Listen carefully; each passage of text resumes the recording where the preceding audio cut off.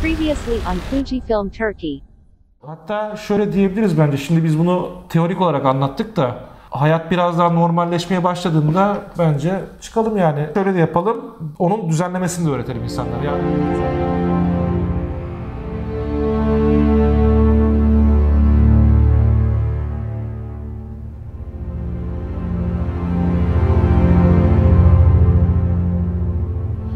Fujifilm Antalya Showroom'dan herkese iyi geceler. Yine kamera önünde ben Ümit, kamera arkasında Can'la beraber daha önce size gece fotoğrafı nasıl çekilir, yıldız fotoğrafı nasıl çekilir Can'la beraber böyle soru cevap gibi sohbet ortamında, sohbet havasında diyeyim daha doğrusu anlatmıştık. Bugün de bunun uygulamasını yapacağız. Biraz vakit geçti tabii ama malum dünya şartlarından dolayı yapabileceğimiz bir şey yok. En uygun zamanı ayarlamaya çalıştık.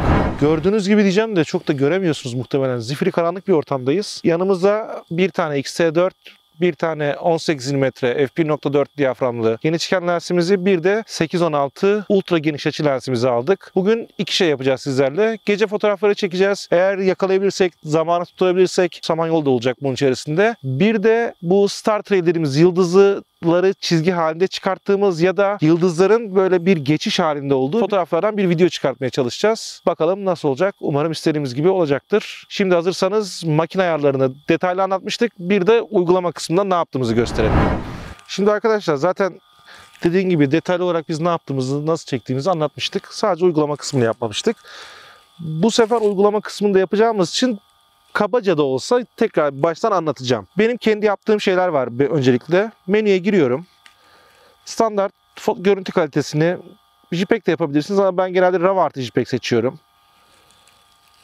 Beyaz dengesini hiçbir zaman otomatikte bırakmıyorum çünkü değişebiliyor ışığın durumu. Burada genelde Kelvin'e ben giriyorum. Benim tercihim burada 5000'in altında 4000, 3800 gibi rakamlar. 3800 yapacağım. Biraz daha mavi tonlarda olmasını istiyorum görüntümün. Yine yine önemli şeylerden biri uzun pozlama değerini aç kısmını kapat diyorum. Bunu yapma nedenim de ben atıyorum 10 saniye pozladıysam fotoğrafı da 10 saniye boyunca işliyor. Bunu istemiyorum. Bataryamdan yesin istemiyorum. Ben zaten onda gerekli düzenleme eğer noise varsa veya gram varsa bunu temizleyebiliyorum. İlk menü içerisinden yaptığım ayarlar bu şekilde. Daha sonra makinamdan yapmam gereken ayarlar var. Öncelikle ISO ayarını bilinenin aksine düşük tutmuyoruz, yüksek tutuyoruz. Burada ben ISO'yu 1600 aldım. 1.4 diyaframlı bir lens olacağım için 1600 almam yeterli oluyor. Diyaframı 1.4 alıyorum. Enstantane değerimi de artık 1 bölü 10, 1 bölü 20 gibi değerleri değil artık saniyeli değerleri alıyorum. Bunu da şuradan anlayabilirsiniz. SS yazan yani shutter speed yazan rakamın yanında, rakamın üstünde daha doğrusu çift tırnak işareti göreceksiniz. Bu saniye anlamına geliyor. Benim yapacağım şu, ben burada 10 saniye alacağım. Deneyimlerimden yola çıkarak diyeyim artık. Bir- 1600 ISO, 1.4 diyafram ve 10 saniye gibi bir değerde rahatlıkla fotoğraf çekebiliyorum. Son olarak yapmam gereken bir şey daha var. Makinamın otomatik fokus ayarı. Genelde makinelerimiz biliyorsunuz AFS ve AFC'de oluyor. Manuel fokus çok kullanmıyoruz. Ama böyle bir durumda manuel fokus alıyorum makinemi. Manuel fokusu aldım. Şimdi ekrandan ekran kaydı alıyoruz zaten. Ekran kaydından da göreceksiniz. Ekranımızda noktacıklar var. Ben burada noktacıkların olduğu yere getirip %100 yakınlaştırıyorum. O noktaları net görebiliyor muyum diye. Bakın manuel fokusu bozduğumda o noktalar bokeh gibi çıkıyor. Ama benim istediğimde noktanın gerçekten nokta gibi çıkması gerekiyor. Burada yaptığımız genellikle şu oluyor. Makineyi direkt sonsuz fokusa alıyoruz. Yani en sonuna getiriyoruz. Fakat en sonuna getirdiğimizde yine yine net şekilde çıkmıyor.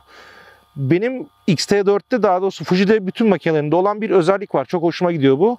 Manuel fokus aldığım zaman aşağıda 0,1 10 santim ila 10 metre arasında bana şeyi gösteriyor. Ne kadar mesafede olduğumu. Ben buradan 10 metreye getirdikten sonra birazcık daha çevirip bunu sonsuzdan bir tık çıkartıyorum. Şu an çıkarttım. O zaman ilk denememizi bir yapalım bakalım.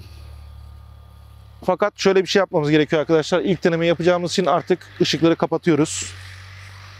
Çünkü fotoğrafımızı etkileyecek. Ne kadar az ışık olursa bizim için o kadar iyi oluyor. Atladığım bir nokta daha var. Makinenin zaman ayarını off'tan 2 saniye alıyorum. Yani ben deklanşöre bastıktan 2 saniye sonra fotoğraf çekecek. Şu an için bütün ayarlarım okey. Bir ilk başta bir denememizi yap- yapalım bakalım. Hazır mısın Can Hocam? Hazırım. Çekiyoruz. Haydi bakalım. Bakın ondan geriye doğru sayıyor.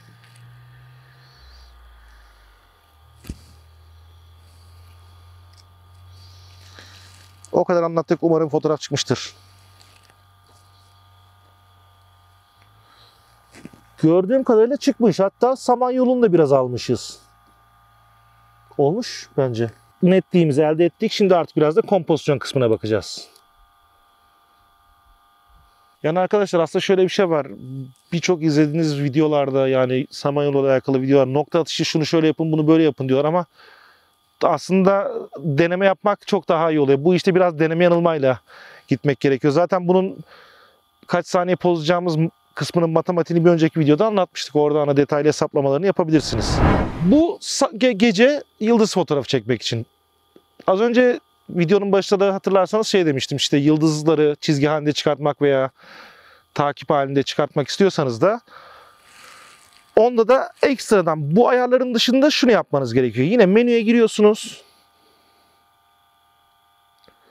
Çekim ayarlarına geliyoruz. Buradan ara zamanlı çekimi seçiyoruz. Ne kadar süre çekim yapsın, ne zaman başlasın kısmını seçiyoruz ve makinemiz ondan sonra sürekli çekim yapmaya başlıyor. Daha sonra bunu bilgisayarda yardımcı programlarla ister birleştirir, fotoğraf çıkartırsınız, ister bütün fotoğrafları yani bütün fotoğrafları birleştirir. Tek bir fotoğraf çıkartırsınız ya da isterseniz bütün fotoğraflardan hesaplamalarını yaparak bir video çıkartabilirsiniz. Eğer yıldızların merkez noktasının sabit olmasını istiyorsanız kuzey kutbunu fotoğraf kadrajınızı istediğiniz noktaya alın ve böylelikle o sabit kalacaktır. Geri kalan her şeyi dairesel bir şekilde isterseniz çıkartabilirsiniz.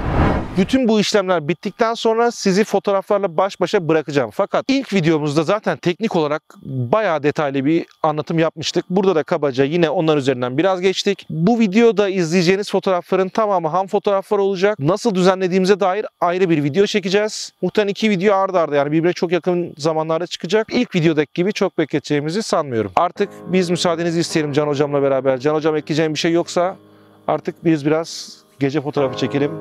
Samanyolu fotoğrafı çekelim diyorum. Ben de sabırsızlanıyorum. Uzun zaman oldu çünkü. Aynen. Uzun zaman oldu. Gelmeyeli. Hava da çok güzel şansımıza. Unutmadan kanalımıza buradan ya da buradan abone olmayı unutmayın. Başka videolarda görüşmek üzere arkadaşlar. Kendinize çok iyi bakın. Biz artık fotoğraf çekmeye başlıyoruz.